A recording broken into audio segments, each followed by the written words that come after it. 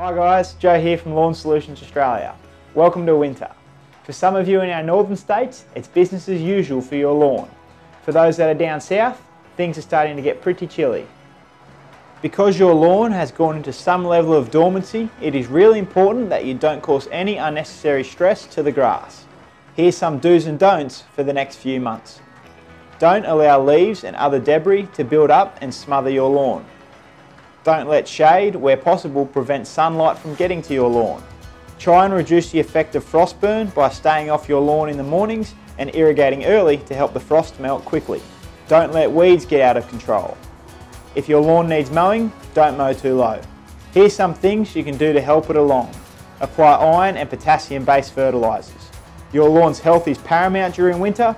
Important elements like these will ensure it stays at full health and will be ready for growth in spring. Apply Colour Guard. Colour Guard helps to strengthen your lawn and gives it a nice natural green colour that can last for up to three months. There's not that much to it when it comes to looking after your lawn during winter, but a few things considered will keep it healthy so it bounces back even better during spring.